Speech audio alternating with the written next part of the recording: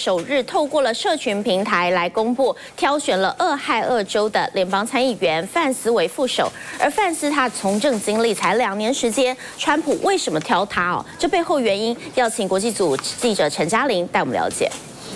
好，是主播，一连四天的美国共和党全国代表大会是正式登场了。今天的重头戏就是美国总统，呃，美国前总统川普呢正式宣布了他的副手人选呢。而哥可以看到，他这次选的其实不没有特别的意外呢，就是由俄亥俄州参议员出身的呃参议员范斯哦。他这个人也本身是非常知名度，就是畅销书《绝望者之歌》的一个作者，而且今年只有三十九岁。这本书之后也是有翻拍。拍成电影哦，而这几天呢，川普其实一直对于他的副手人选是卖关子的一个状况。前几天甚至是表示说，他选副手的一个过程，其实有点像是他当初非常爆红的实境节目的一个过程，就是呃谁是接班人，不过是高度复杂的版本哦。不过川普呢喜欢这个范斯也是有迹可循的，因为范斯这个知名的畅销书《绝望者之歌》本身呢就是描写的一个铁锈带白人劳工阶级一个呃生活上的一个。困境哦，而这本书当初就曾被解读说是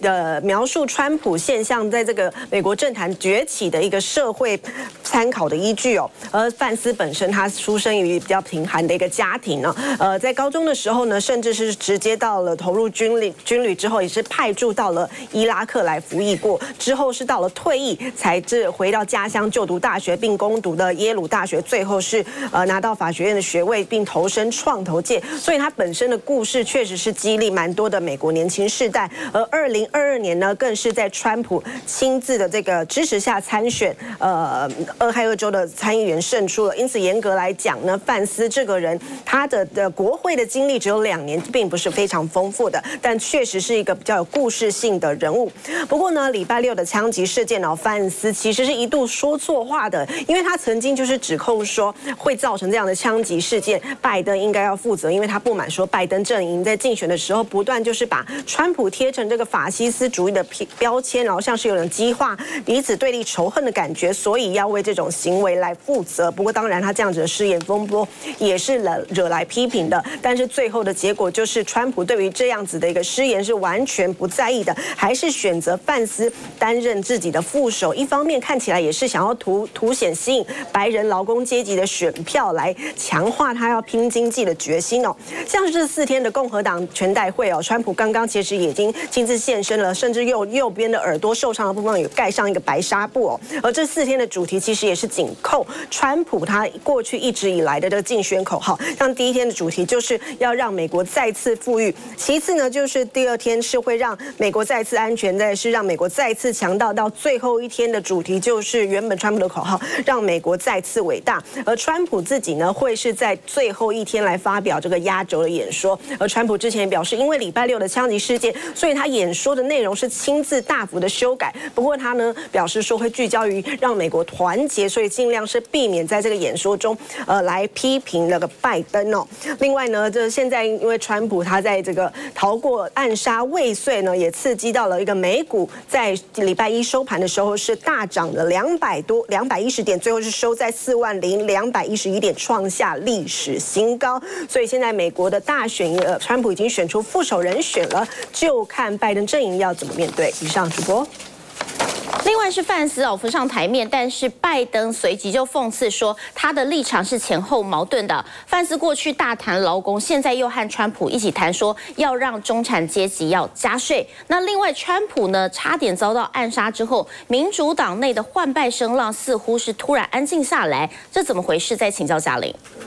好，是的，刚刚我们已经看到，就是美国呃前总统川普，他已经在全国党代表大会挑选了副手人选，是俄亥俄州的一个参议员，也就是《绝望者之歌》的呃作者范斯来当他的副手。而当然，这个拜登很快他在呃稍早在白宫要准备搭乘直升专机的时候，也有被记者问到相关的问题。而拜登呢是也是语带嘲讽说，呃，川普挑选范斯，而范斯这个人不过就是一个像是一个川普的复制人，像是一个川普的翻版。哦，他没有什么样的意外，并且说，就算他选出这个人，他们的副手贺锦丽也已经准备好，可以随时辩论跟这个范斯一较高下。呃，除了这个面对记者的直接呃回应呢，拜登其实另外有在自己的 X 平台上做出一些呃批评，他也是说呢，范斯的立场其实有前后矛盾的情况，他就批评说，范斯过去啊一直表示说支持在呃大谈支持劳工的一个现况，但是现在却似乎要和川普一起来呃给中产阶级的家庭加税，但是给富人减税，他因此反复那个范斯这样立场是有矛盾的情况。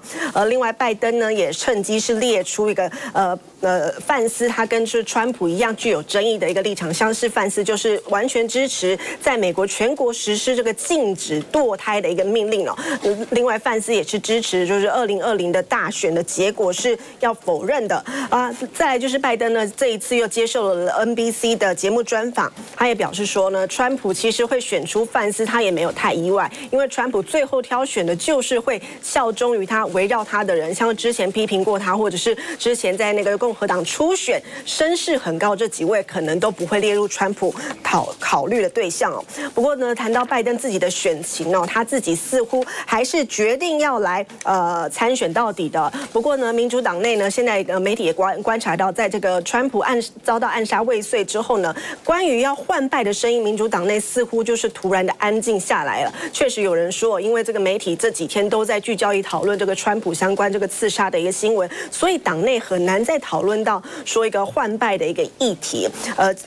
所以相关的也是为了避免要激化这个两党的情况，也停止了相关的竞选活动啊。而拜登呢，在 NBC 的呃访问中也重申了自己的健康是没有问题的。他甚至用了一个很奇妙的理由，他是说自己只比川普年龄长三岁，所以呢，他认为自己的精神状况到目前都是一切没有问题的。以上主播。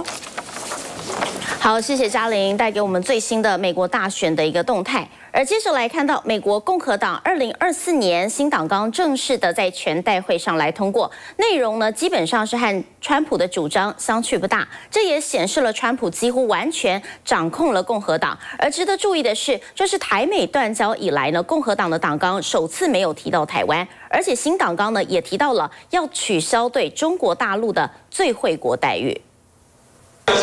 川普第三次获得共和党正式提名，这也更加确立川普在共和党内无所不在的影响力。现在的共和党是川普的共和党。从今天通过的二零二四共和党党纲可以看到，川普对共和党的掌控。上个星期我们已经报道过，共和党的二零二四最新党纲基本上就是川普的竞选主张，在贸易、移民和外交政策等关键议题上呼应川普立场。十六页内容使用的文字和精简的重点都很。川普，但对台湾来说，最值得注意的是，这是美国和台湾在一九七九年断交以后，首次共和党党纲没有提到台湾。那么从一九八零到二零二零年，每四年一次的共和党党纲都有台湾。二零二零年是沿用二零一六年的版本，写进对台六项保证，也反对两岸任何一方片面改变现状。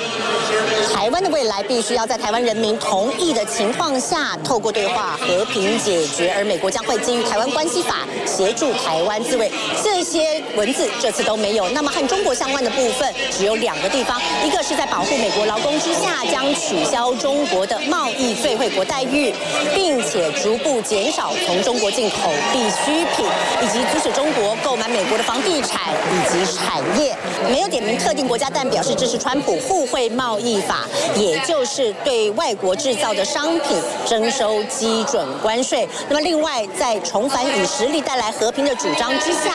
要重建军队和联盟来对抗中国。TVB 新闻家辉，美国密尔瓦基报道。台南洗漱海滩陆军演训登场了，这次五十名的教招人员将进行实弹射击。更多新闻焦点，广告之后马上回来。Logo 呢是美国医疗单位开始误用，所以我们很多台湾救护车也开始沿用误用的这个标签。我有在一些就是商界的朋友上，他们哈哈，他们也有使用。我本来想说救护车，有时候人家捐赠，捐赠好像商人比较会捐，感觉比较险恶一点，跟蛇有关。好像电影有看过，不然是那个魔鬼党在用的。TVBS 欢乐台四十二频道，周一到周五晚间八点，拜托 ATM。